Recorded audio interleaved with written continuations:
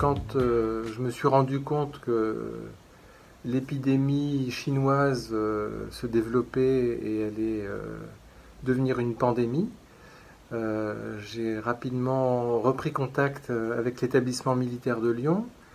j'ai passé ma visite médicale pour revenir dans la réserve opérationnelle et euh, bien sûr, euh, je me suis tourné vers la direction de Cham qui m'a autorisé et même encouragé à m'investir euh, dans cette activité. rapidement, j'ai pu reprendre un certain nombre de fonctions comme médecin et j'ai été affecté dans le service Covid qui venait d'ouvrir à l'hôpital militaire. On a travaillé deux à trois jours par semaine parce qu'il y avait suffisamment de médecins qui s'étaient portés volontaires.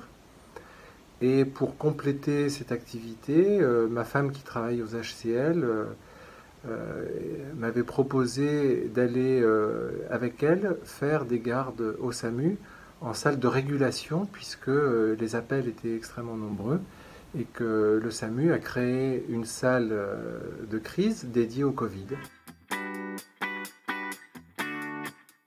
Heureusement, comme c'est un hôpital militaire, euh, il y a du matériel, euh, notamment pour toutes les maladies infectieuses. Et euh, on a eu la chance d'avoir l'ensemble des protections pour pouvoir aborder les malades et faire les prélèvements en toute sécurité. Il y a vraiment eu une prise en charge importante avec le matériel disponible, l'infirmière hygiéniste de l'hôpital qui euh, faisait des formations tout personnel. Je me suis aperçu que la majorité des gens avaient déjà été formés, mais j'ai eu une formation quand même euh, supplémentaire pour pouvoir me mettre en sécurité. Sur le plan de la prise en charge des malades, euh, d'abord l'ensemble du personnel médical et paramédical ayant le matériel suffisant était tout à fait en confiance. Euh, il savait qu'il ne ramènerait pas le virus à la maison du fait de ces barrières euh, protectrices, euh, masques, cagoules, blouses. il y a eu une certaine sérénité dans cette activité et puis le renouvellement du personnel en nombre suffisant cette activité a été augmentée assez rapidement puisqu'il y avait un service de 12 lits qui est passé euh, à 24 lits. Il y a une deuxième aile qui a été ouverte. On s'est rendu compte que on ne connaissait pas grand-chose de la maladie, que l'on apprenait au fur et à mesure euh, les différents symptômes.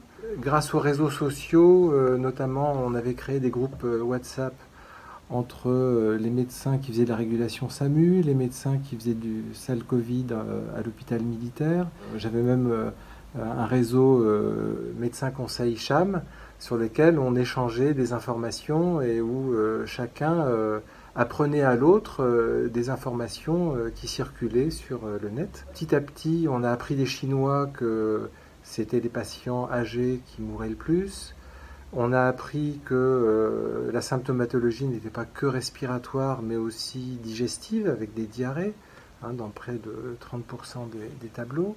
Et puis, euh, on a été averti très rapidement euh, par les services d'urgence et les services de réanimation du Nord-Est que eux, de leur côté étant épicentre, ils se retrouvaient totalement submergés et qu'ils avaient vu apparaître une symptomatologie assez particulière qui est euh, l'anosmie et la gueusie, c'est-à-dire euh, l'atteinte nerveuse de l'odorat et du goût.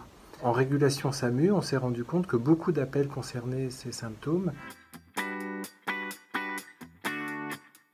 L'après-Covid, euh, l'après-crise, c'est-à-dire l'après-confinement, c'est le déconfinement.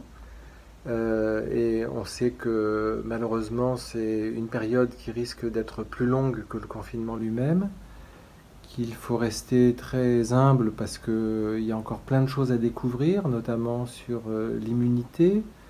Sans immunité, euh, eh bien, on va tous attraper le Covid. Et avec une bonne immunité, après une contamination de 60% de la population, l'épidémie s'arrêtera. Et puis, euh, si c'est une immunité intermédiaire, eh bien, on verra bien euh, comment nos scientifiques vont découvrir les médicaments pour traiter ce portage viral, pour diminuer la gravité des cas, ou si le vaccin apparaît, et là on est pratiquement à un an et demi, deux ans. Ça serait une note d'optimisme pour, euh, pour dire que c'est vraiment dans l'adversité qu'on voit éclore euh, euh, des belles actions, comme on voit tous les jours, et se développer une solidarité dans, à tous les niveaux, dans nos familles, dans nos entreprises. Et c'est vrai que je pense qu'au final, tout ça va laisser des éléments positifs. Hein, il y aura des épreuves à passer, mais je pense qu'en effet, euh, on ressortira grandi de tout ça.